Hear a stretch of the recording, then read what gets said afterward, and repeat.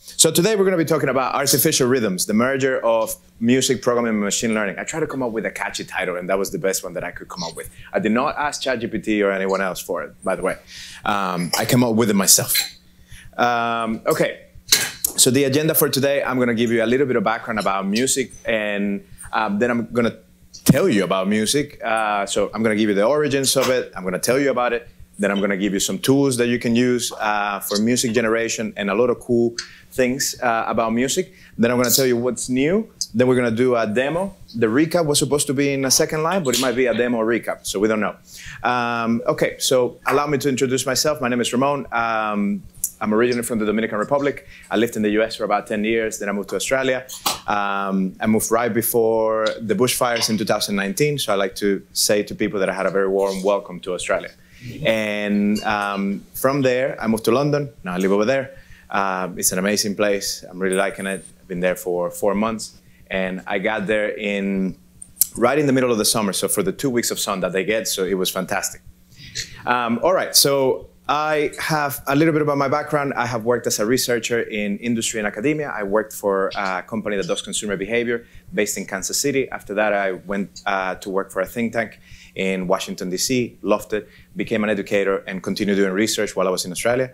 Um, I developed a data science bootcamp there. I worked as a researcher at the intersection of machine learning and uh, management sciences. That was a that was a very very fun uh, couple of years of my life, uh, and I'm still having a lot of fun. I worked uh, as a freelancer for the last year, and now I joined Seldon. Seldon does machine learning infrastructure for the last end of the machine learning life cycle. Think about it whenever you have your model ready to go and you want to deploy it somewhere. Not only do you want to deploy it, but you also want to monitor it, and also you want to explain the predictions that your model is making. So that's what we do.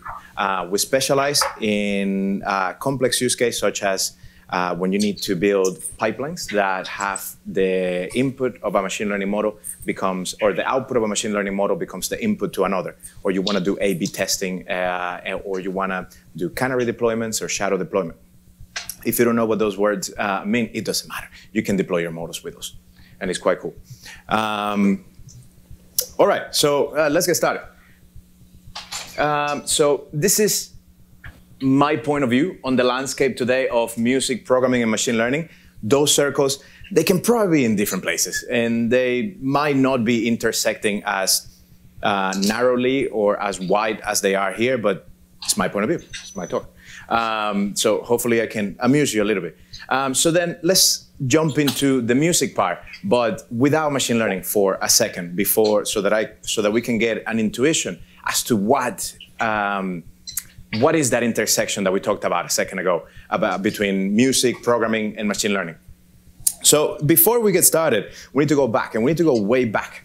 And the only reason I wanted to add this slide here is because I really like Vox and all these um, uh, really amazing news outlets and uh, media companies, and they always start with a slide that says, "Let's go back." So I wanted to do it too, and and I said, "Well, but how far back?" So I just found a picture of a cave, and I said, "Well, this is far enough." Uh, but actually, it's, it's not that far off from, reali- from reality. The first time, the first instance where we found uh, an example of music was 40, just about 40,000 years ago um, at a cave in Germany, uh, and they found a flute. And they understood that people were using it to create specific sounds, um, which is quite cool. This flute is still available in some sort of museum that I don't know where it's at. Uh, then, you know, we came to Mozart and, or, uh, sorry, Beethoven.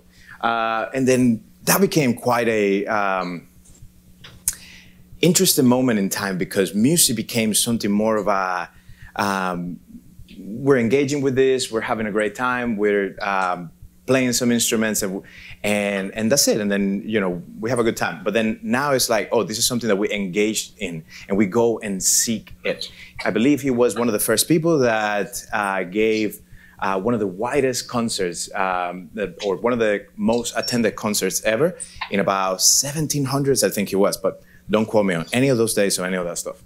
All I wanted to really do is to show you that um, the pivotal point of music was when we were able to start putting music uh, into paper and adding notes, because now we can actually take that Uh, maybe not just yet, but now we can take what is in our heads, what we can play after we practice it a lot, and put it somewhere where somebody else can copy it, somebody else can use it, and that uh, hold that thought there. But really, all that stuff is just so that I could show you the transition that we have gone uh, that we have gone through, and now we're um, and then you come to the early 1900s, and you get one of the most spectacular uh, pieces of music ever created. And this is one of my favorite sounds, uh, one of the best things I've ever heard in my entire life. Um, so I'm going to play it for you um, just because it's a lot of fun. This guy is called uh, Billy Boy Paxton, and he's one of the best musicians. One of my favorite genres is um, bluegrass banjo. And then, so we went all the way from making sounds with flutes to, uh, in the early 1900s, making sounds that would sound like this.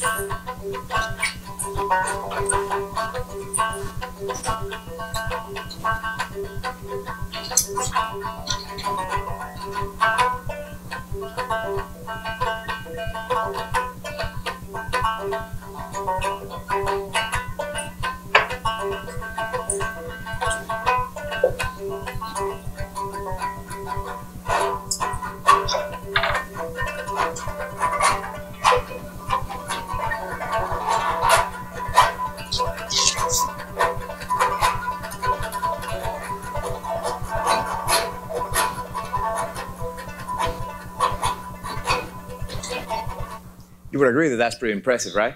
And that's not even the end of it. So I really, I highly recommend that you go and see it because then he starts singing and he gets very like, ah, the emotions hit you. Uh, but the point I show you that is because I want to create a distinction there. I just told you that a pivotal point in music was when we were able to put music into paper and then take it in. But at this point in time, in the early 1900s, the people that initiated this movement, they weren't able to put things into pen and paper uh, because they were at that time, uh, they, they, were still in slavery or they were part in, um, or they were not able to speak freely, they were not able to do things, but we still managed to capture those things. And now, in today's day and age, all of those, the things that we were able to capture, the things that we were not able to capture, the things that are uh, written down in piece of paper, all of those can be combined and can be used to, to create transformative music with a combination of programming and uh, machine learning. And I'm going to show you how in a little bit, but I just really wanted to play this. Uh, it's really nice.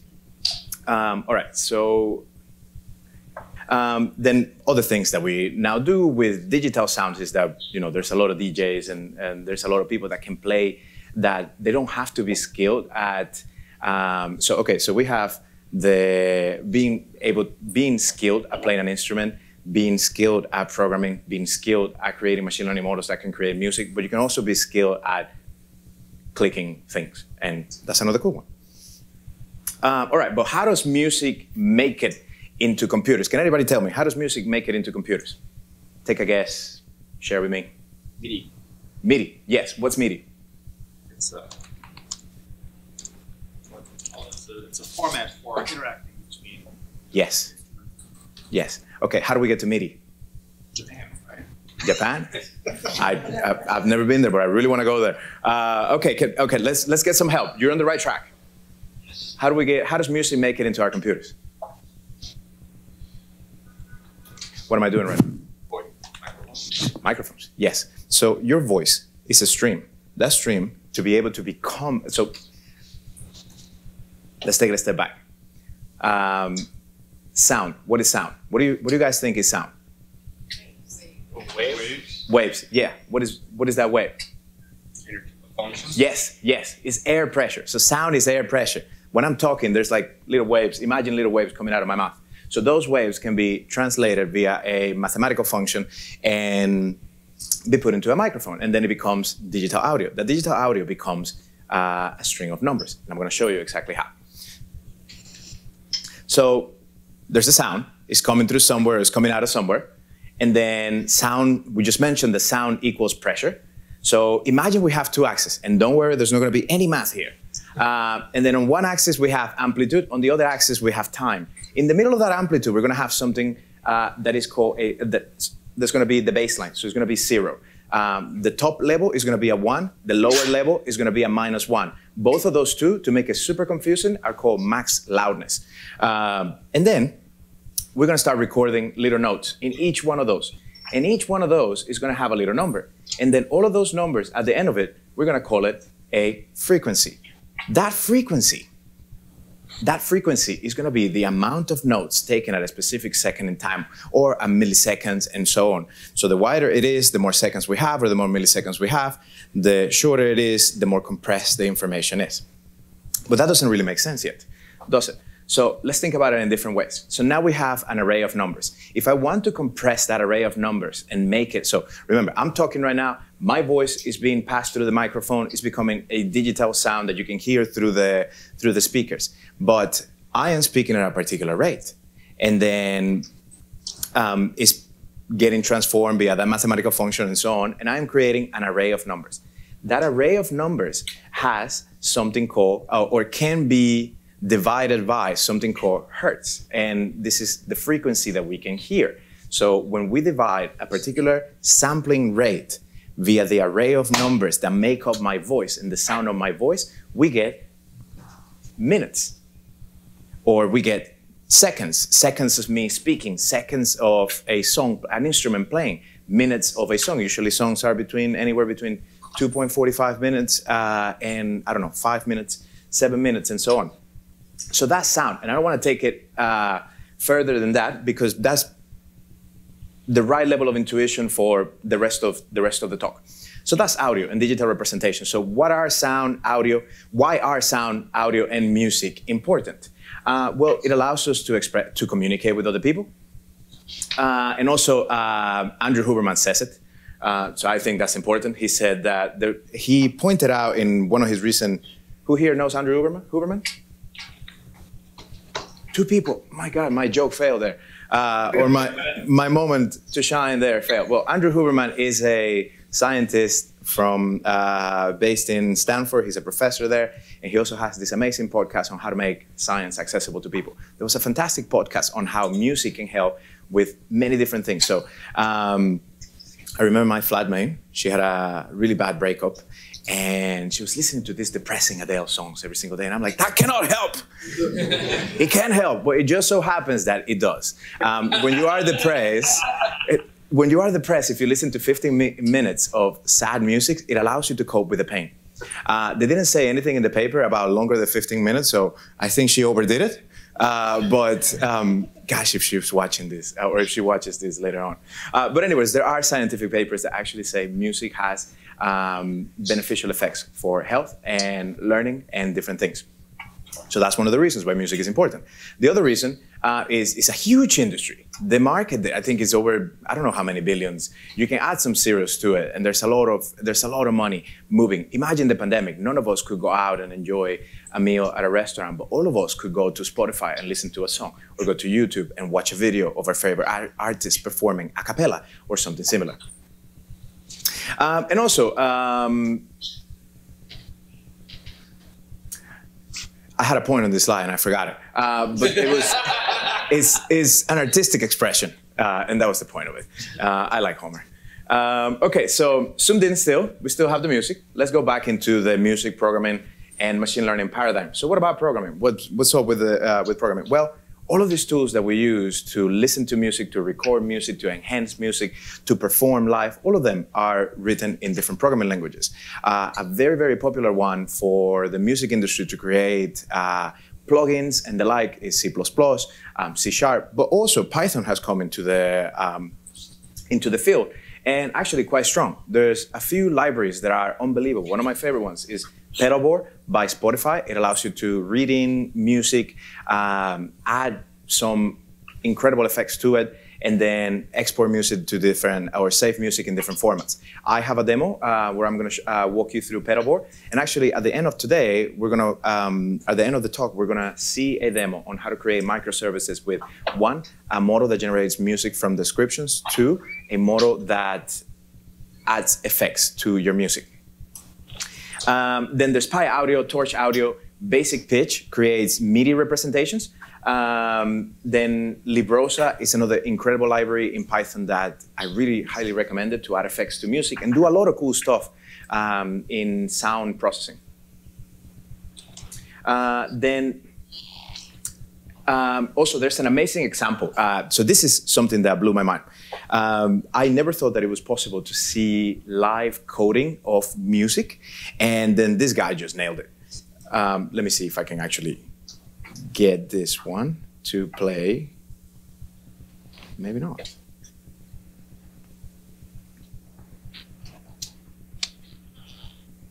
I might not be able to, but let me see. Nope. I'll leave it there for all of you to. No, it's such a good example. I have to play.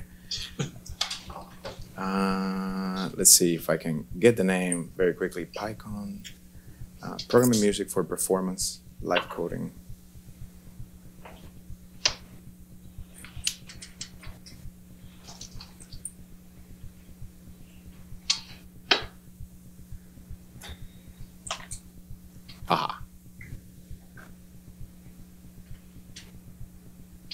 Projects or anything. Um, by default, it will just. Okay. So this guy is typing, and as he's typing,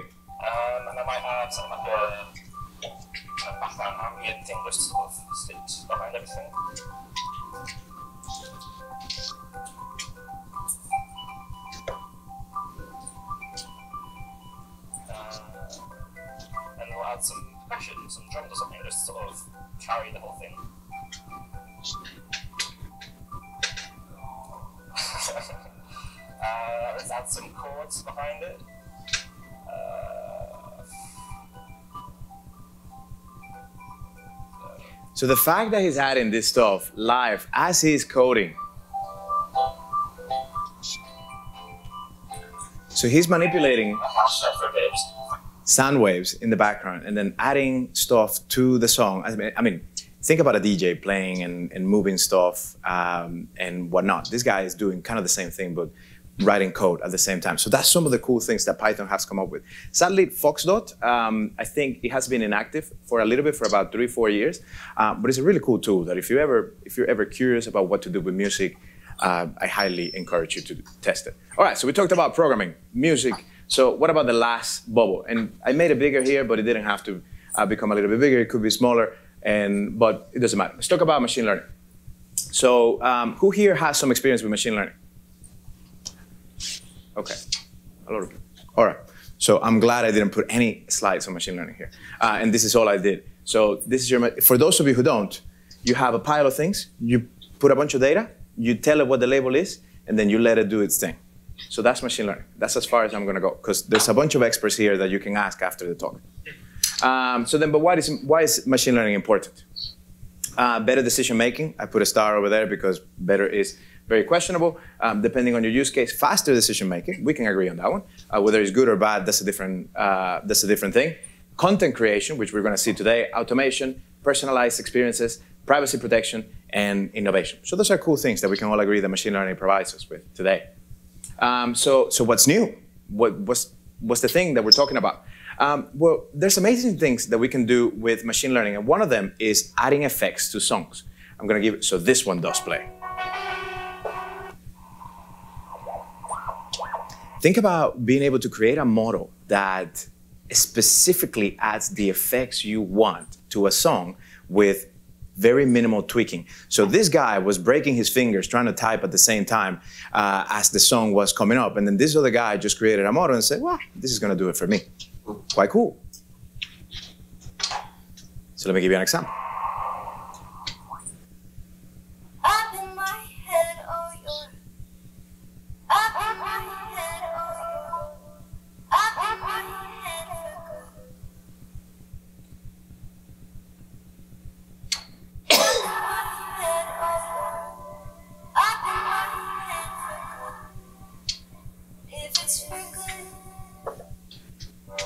So that's quite impressive. And the fact that this was done with a model that was trained, I think, very quickly, um, it really, it really does bring up the point of, well, what else can we do with machine learning? What else? What is out there? Um, what's possible? And that's all for some. That's what I'm hoping I can show you here. So this is another one. Uh, think about now we talked about adding effects to music. Think about being able to um, say you wanted to go to you were one of the people that wanted to go to Taylor to see Taylor Swift and you were not able to get your hands in a uh, in one of the tickets and you wanted to you really wanted to listen to a song that was a cappella by her and then you couldn't do it. Well, kind of you can kind of do it now. Say you have this.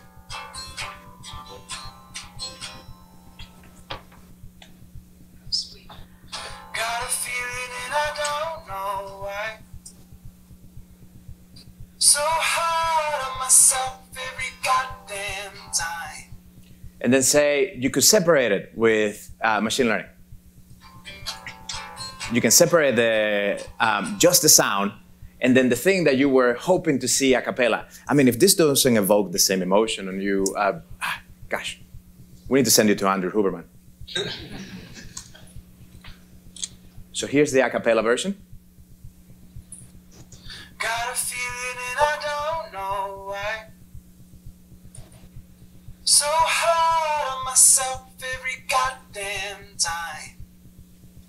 Pretty impressive, isn't it?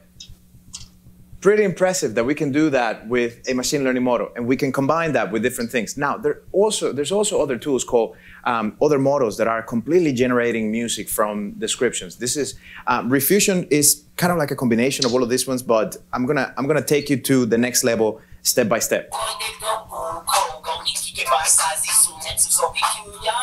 You don't really understand what this person is saying, but but you know it rhymes, so it sounds cool.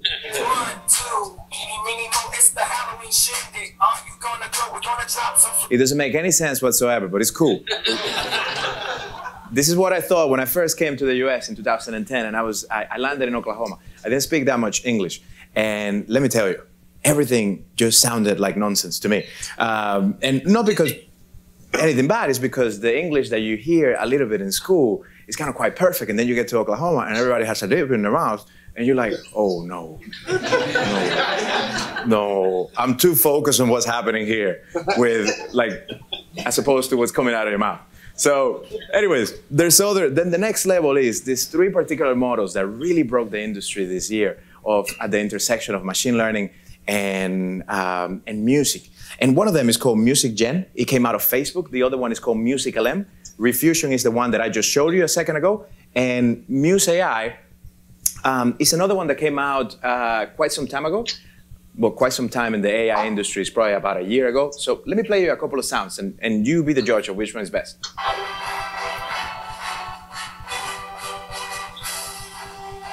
A grand orchestral arrangement with thunderous percussion, epic brass fanfares, and soaring strings, creating a cinematic atmosphere fit for the heroic battle.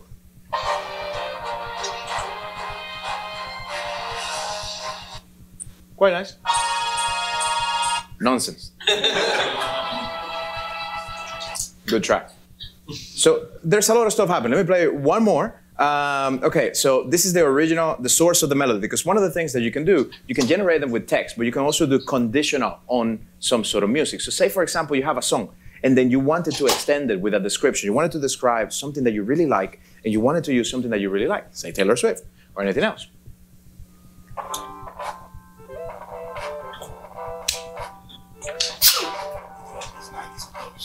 So this is one song, and then here's the MusicGen example, 90s. So we took that song, that kind of like hip hop, rap, and then we added the description, 90s rock song with electric guitar and heavy drums. He did his best.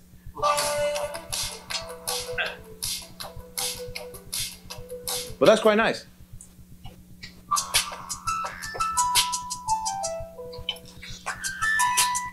So it's a, it's a trial and error. It's kind of like asking uh, ChatGPT, hey, what should I do uh, for the weekend? And then it comes with a bunch of stuff that doesn't exist in your city because it doesn't have, it doesn't know that in which city you're at.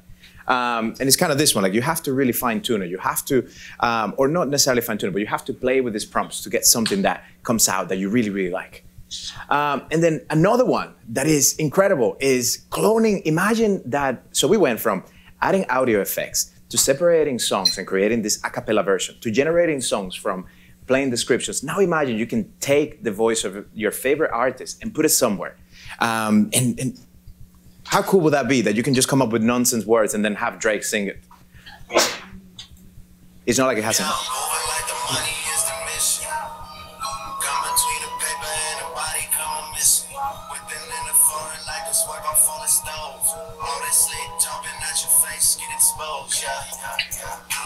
So that is that sounds pretty much like Drake, right? And that is not him singing. Um, here's another one. It's a party at the house. Just clapping the pool, acting a fool.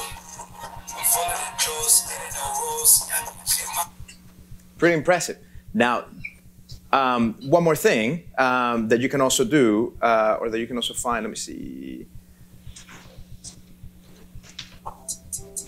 You can go as well and not necessarily take artists, not take a song that was generated by someone, but you can also create specific sounds. Uh, say, for example, so when you think about the music industry, you might be only thinking about artists, uh, but also videos, taking music, uh, podcasts might have a soundtrack behind it, or um, games, video games have music in them. And some of this music is copyright music, some of this music is created by someone specifically for that, for the purpose of that game. Imagine that now, I, I don't want to take the job away from a lot of artists, but damn it, if you can just describe it, how cool is that? Um, so listen to, uh, let me play this one. That sounds like it could be, I don't know, in a cinematic scene going into somewhere. Uh, that could be part of a game, but it doesn't have to be. So we're now to the point that music might be indistinguishable from the real thing to some to some degree. Let me see if I'm still uh, text to song. Oh, I created. I actually created a um, a song for today with PyData uh, in it. So.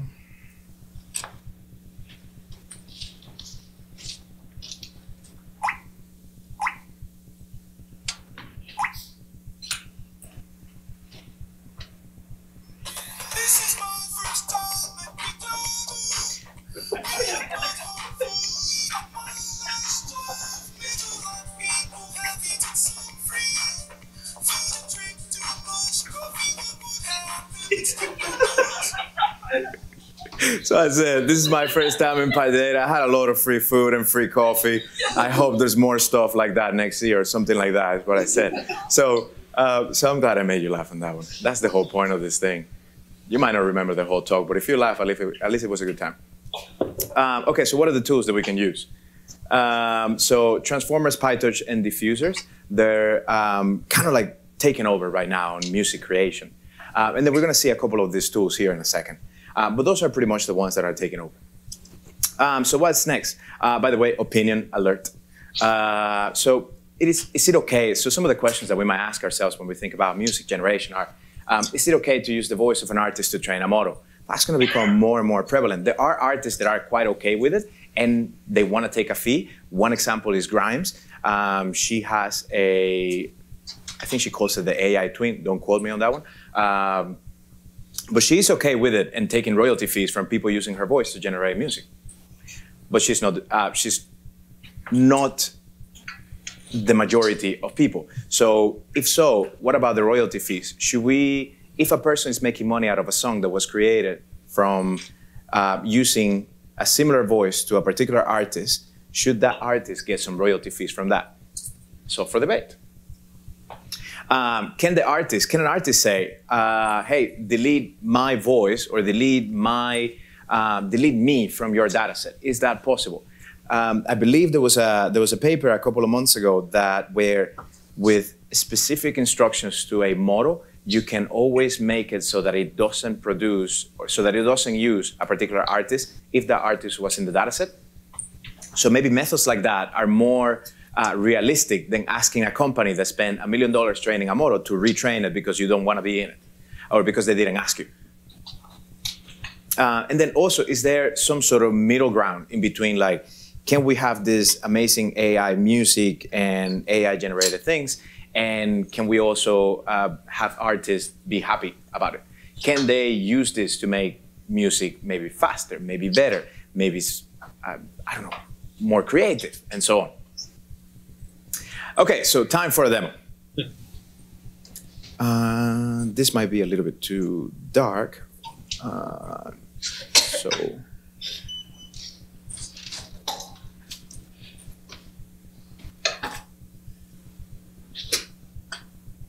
Okay, there you go. All right, so um, I have a couple of things that um, I created the other day for a workshop on uh, building machine learning microservices, and one of the uh, the the tool that I ended up creating, or one of the demos, there's about three or four demos, and you can find the talk. I, I believe it's going to be posted quite soon. It was at MLOps World, um, but I'm going to show you the uh, I'm going to show the app. Gradio.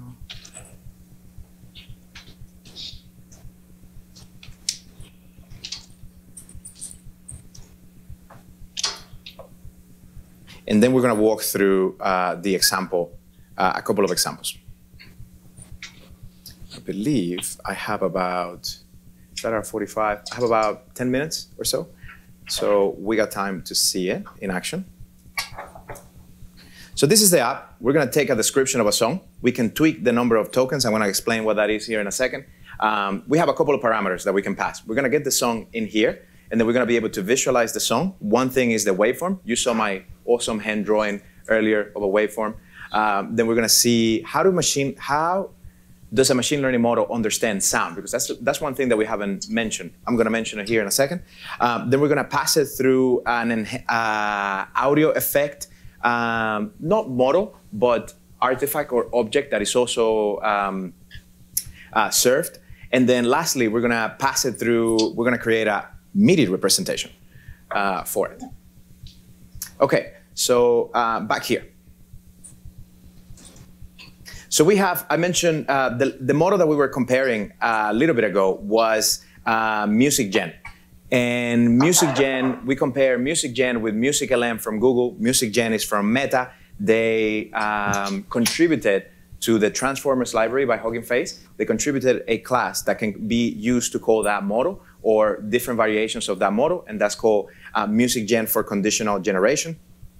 If you have um, who here has done um, any kind of deep learning whatsoever?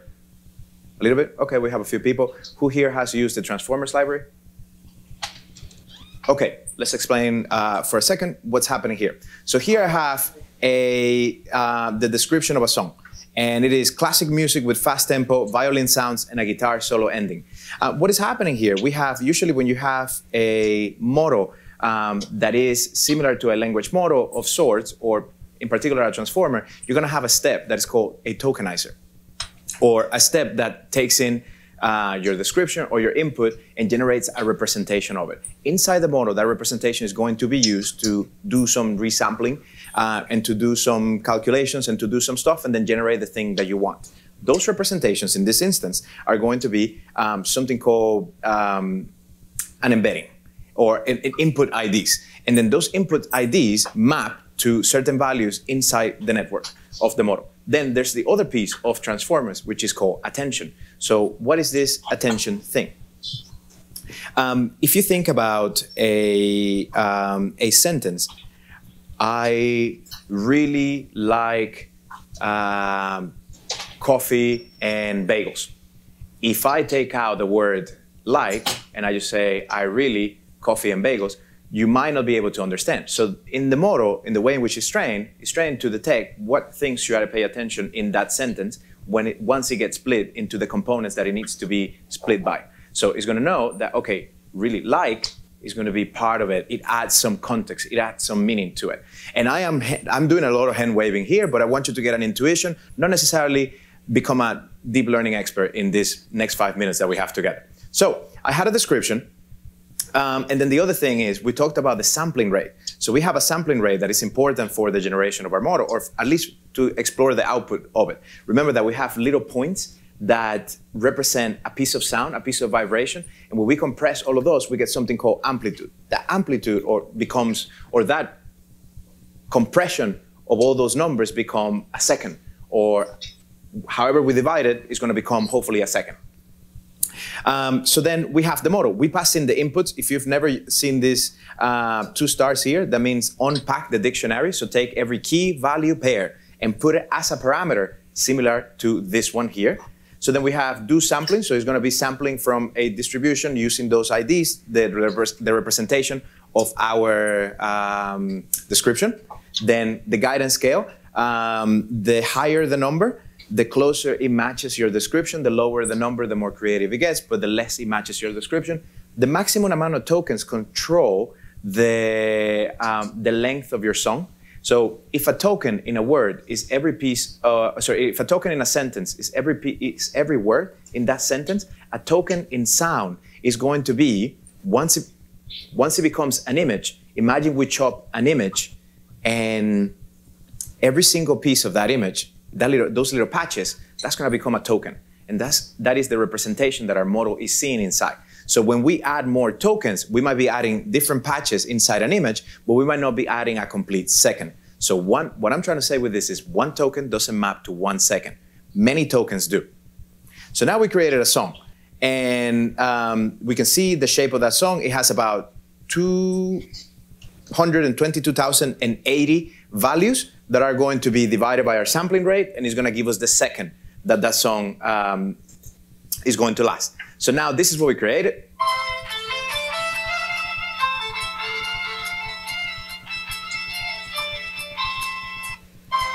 Quite nice, quite nice. What if we wanted to add some effect to it? I mentioned the library Librosa earlier, and there's a really nice effect called um, HPSS, which is the harmonic uh, something something something from uh, from mathematics, and it distorts the sound and it adds some effect to it. And let's see what that what that sounds like.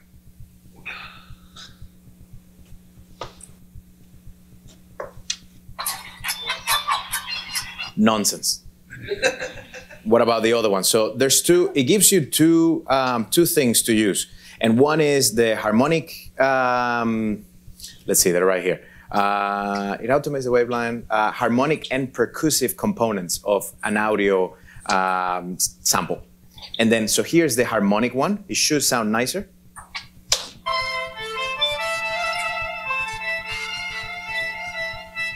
So that does sound ni- nicer than this. Kind of like more, not in a room, kind of. Okay, um, here we have Pedalboard. I mentioned that this is another the other library in Python that is quite nice to add effect, for adding effects to a song. Um, I never thought I was going to play Toxic by Britney at a conference, but I am going to.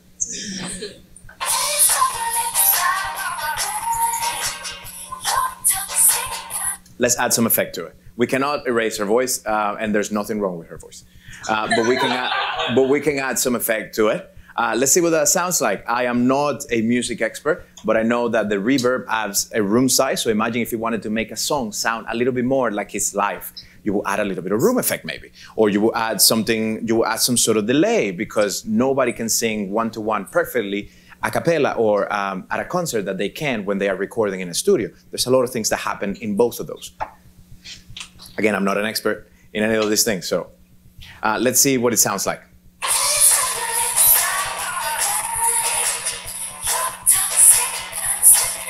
kind of sounds a little bit louder, like a little bit more in a room. You can play with this. The, the idea is that you can play with these parameters and create something very, very cool.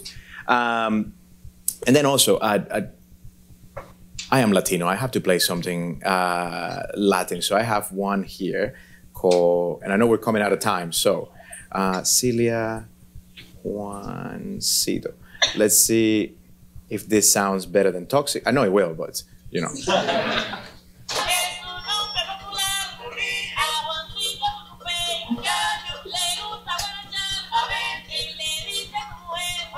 So this is Celia Cruz from Cuba, amazing salsa and um, uh, samba singer, um, and she's just fantastic. So let's see what that sounds like when we pass it through our distortion, um, so our effects creator generator.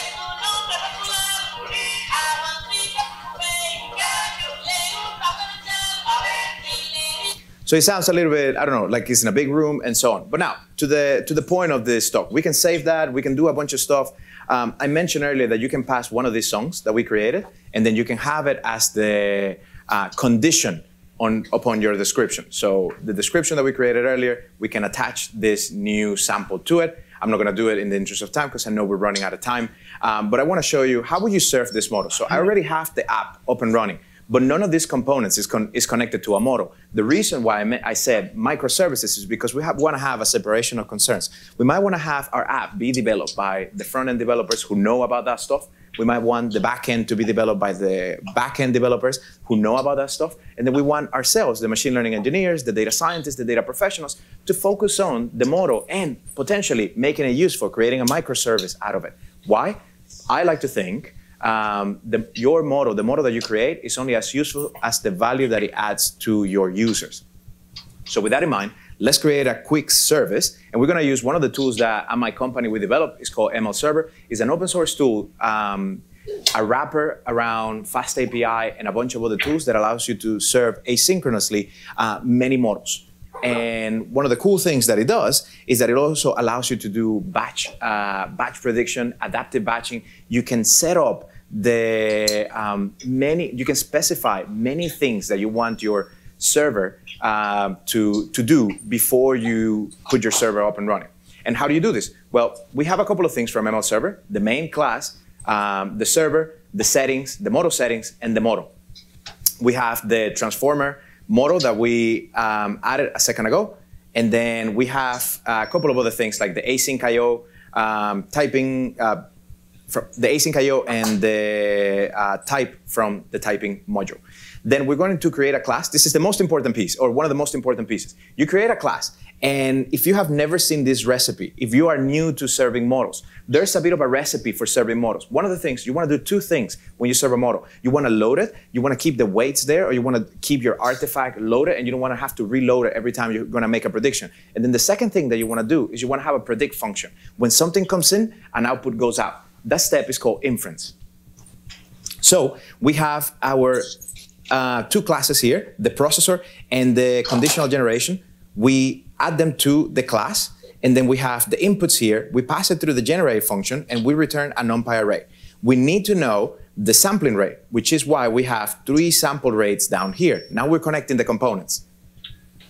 So um, we add that to our file. So notice that here I'm using a Jupyter Notebook um, Magic where I created a file in a particular folder. And then in here, I added an A to attach, append that, this piece to that file. And then lastly, we need the function that is going to run our server. We have the settings. Here I have debug true, but I can also say, hey, if I'm using the a particular port, I can say HTTP uh, port and say, actually, um, serve this thing in 7070 and so on.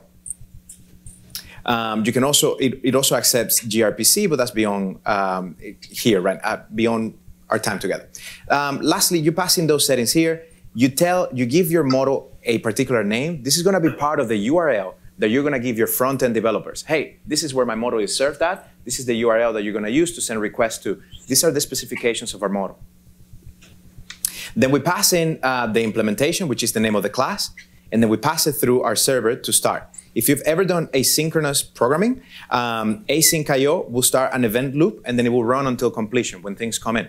Um, okay, so now we have it. Now we can start our second server. So we have one for the front end, and then we're going to have one for um, uh, for our model. Uh,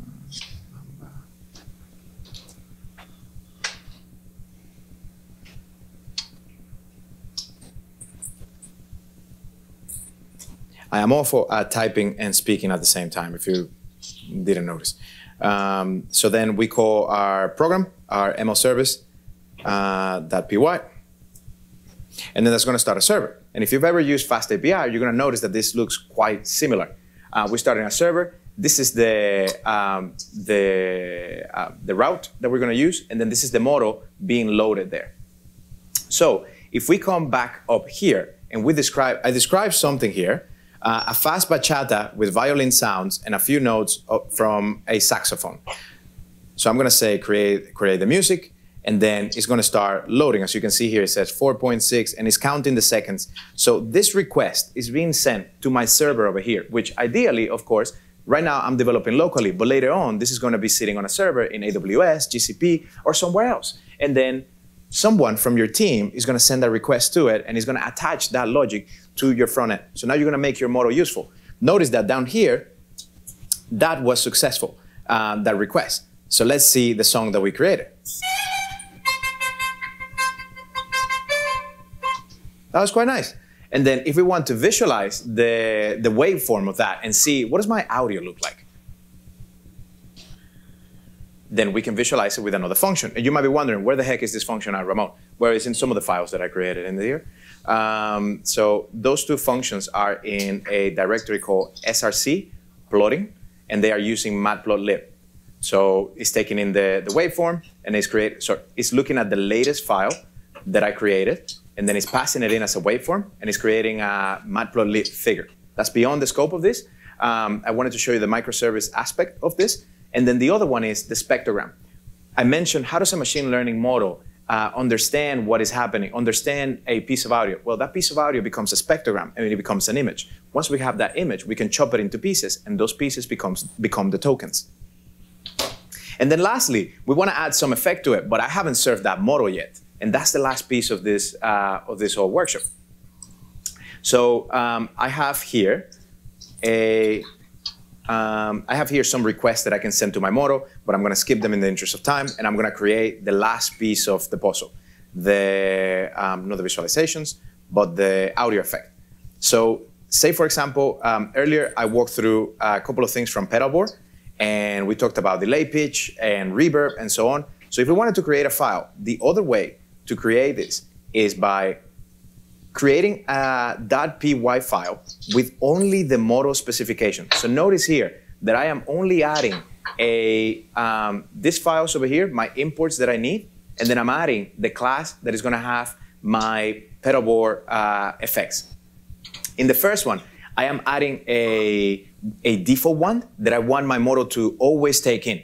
So every song that comes through, you're going to add this effect. And then for the other ones, I'm going to add a little bit more um, just in case, because this one, the idea is that we could create more parameters and pass it to our function and then tell our developers in the front end, hey, these are the things that you can tweak. These are the things that you can allow our users to tweak. So we are adding this to our um, server, um, to our .py file, and then we need two more files to save. Uh, so the first way I show you how to serve MLServer was via Python file. The second way is via the command line. This is the second way. So you have a name. I'm going to call it novice DJ because I'm nowhere near an expert. Um, I have the name of the file that I just created, audio mixer, and then I have the name of the class. That is the implementation. Then we have different ports here so that it doesn't clash with the one that we have running right now. So if I add this two to the same directory, I'm going to show you what the directory looks like. I have a, a directory called servers, and in this one I have one called pedalboard. I have three files that I just created, the audio mixer.py, the model-settings.json, and the settings.json that you see here, that you see here, and that you see here. So there's about 25 lines of code, and if you become very frugal, you can actually make it less than that. Um, okay, so we created those. How do we serve it? Last bit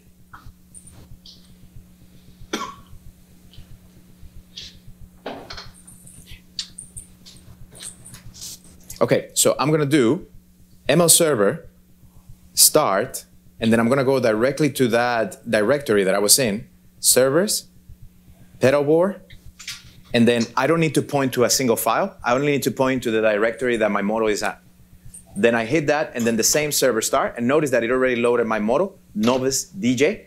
And now we can come up here and we can add some effect to the song that we created. So uh, for the record, let me play it again. Uh, the one, oh, this reloaded. I'm going to create that song again with the same parameters, same, um, uh, same description.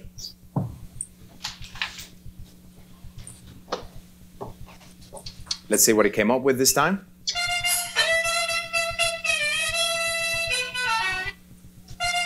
Not quite great, uh, but the first, one, the first one was way better. We can visualize the other two things that we have. Um, there was an error there. Uh, okay doesn't matter. Now let's update that song.